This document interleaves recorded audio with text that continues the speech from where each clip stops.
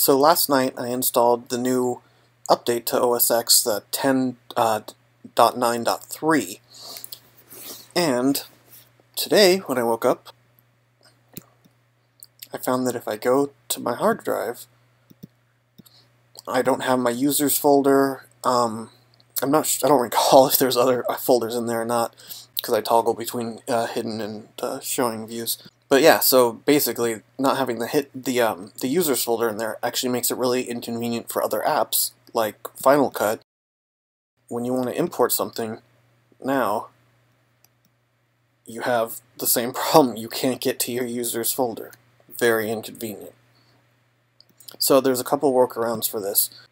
So I found a couple workarounds. The Two seem to be permanent, one much more extreme than the other, and then one temporary. So to the temporary fix to get the users folder back is to open up terminal and then go to the volumes and then MacBook and there we see the users folder. So what we're going to do is we're going to um, set the no hidden flag on the users folder. To do that we type in sudo, uh, that's to elevate us to super user for this command, and then ch flags no hidden in the directory users. and Enter, enter your password. And there we go, we see it popped back in there. Now the problem is, once you restart the system, uh, it doesn't persist. I'm actually not sure why it's not persisting, but um, there is two solutions. The much more complicated and one that I don't really want to try, but I assume would work, is to actually boot the uh, system, to reboot the computer, boot into a an emergency boot prompt, and then do these, um, and then pretty much walk through the same command I did. Uh, I heard that persists, but like I said, it's it's a bit of work. It's a bit of effort. Okay. So here's the solution that'll work after the reboot. You actually have to boot into a recovery boot and then um, pretty much issue the same command that we did uh, earlier. Um, you have to chmod it. I'm not actually sure why you have to chmod it. I'm guessing it doesn't have correct um, execute permissions or something at that point. But um, anyway, so this supposedly persists, although I haven't tested it myself. I don't really want to because it's a fairly um, a fairly complicated procedure for something that should just be a bug fix that hopefully will get fixed pretty quickly. So instead, I'm going to use the method um, of doing pretty much what I showed you earlier, but doing it as a as an AppleScript. And we're going to set that to start every time the computer starts. Okay, open up um, AppleScript Editor. Okay, just do a new document. Okay, and we're basically just going to have it do exactly what we did here. Um, it's a little bit different, just because the syntax is different. So, we're going to say tell application in quotes, the application is terminal. New line. Do shell script. And then it's going to be um, pretty much the same as this, except we don't need the sudo there because, um, like I said, the syntax is a little different. We're going to actually give the user password uh, coming up here. So all we're going to do is uh, ch flags, no hidden, and then users.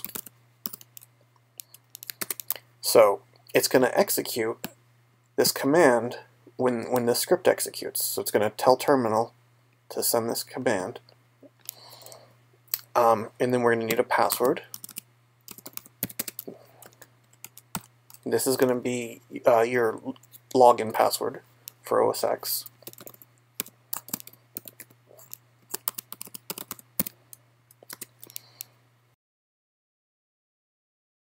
So we're going to execute this with administrator privileges.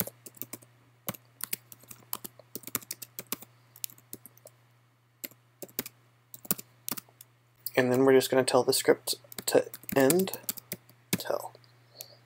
Go ahead and click compile. Okay, okay. So now we're going to save this as an application. So go File, Save. Change this file format here from script to application. And then we're going to save it as, I'm going to save it as show user directory. It's going to be in my applications folder. So go ahead and hit save. And close this out. So now, to have this start on startup every time so that it actually um, it works when you log in, instead of just every time you reboot having to rerun the script, we're going to have it automatically run um, on login. So go ahead and go to the Apple icon, System Preferences, Users and Groups, Login Items, just go Add, little plus sign. We're going to scroll down and find our our app here, show user directory. Add it. You can uh, check it to make it hidden. I don't think it's going to make a difference, but it may. It may it may pop up a window like this briefly. If not, I'm not positive though.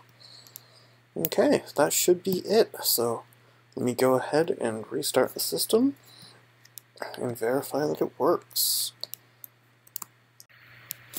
Okay, I just rebooted and let's go ahead and take a look. And there we go. Yep, it started up. Perfect. Um, one little note is if uh, you start your system, you log in, and then it prompts you saying that that script needs a user password to make changes, that just means that um, when you were typing in your user password on when you actually made the script itself, that the um, you typed the password in wrong.